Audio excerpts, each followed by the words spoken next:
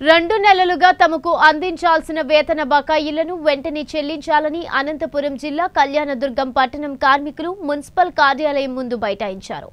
అనంతరం జిల్లా కళ్యాణదుర్గం నగరపాలక సంస్థలో పనిచేస్తున్న పలువురు ఉద్యోగులు తమకు వేతనాలు అందించాలని నిరసనకు దిగారు.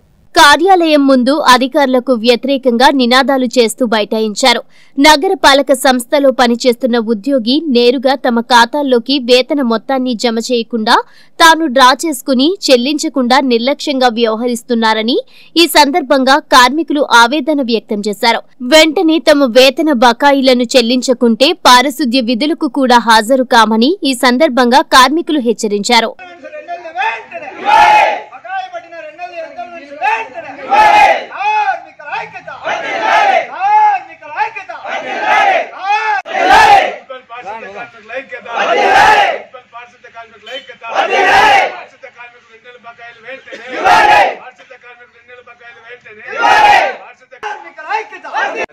మున్సిపాలిటీ మున్సిపల్ పరిపా- పురపాలక సంఘం కార్యాలయం ముందు పారిశుద్ధ కార్మికులు నిరసన కార్యక్రమం తెలియజేస్తున్నాం.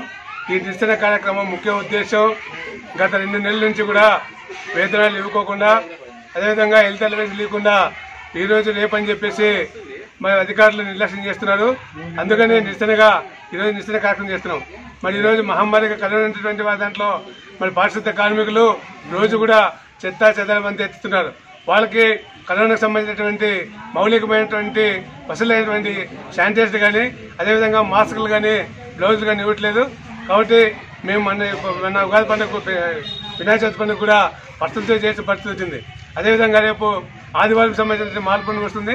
పండుగ పూటలు కూడా ఈ మున్సిపల్ అధికారులకు అధికారం లేదు. అందుకనే బకాయి పట్టేటువంటి రెండేళ్ళ జీతాలు వెంటనే ఇవ్వాలని అదేవిధంగా బకాయి పట్టేటువంటి రెండేళ్ళు హెల్త్ అలవెన్స్లు ఇవ్వాలని ఇరవై నెలలుగా పిఎఫ్ డబ్బులు మా జీతాల్లో కట్ అవుతున్నాయి. కానీ మా జీతాలకు సంబంధించినటువంటి మా అకౌంట్లో మాత్రం జమ కావట్లేదు. బకాయి పట్టేటువంటి ఇరవై నెలలు పిఎఫ్ ఇవ్వాలని మేము శాంతియుతంగా ఉదయం పూట్ల పని చేస్తున్నాం.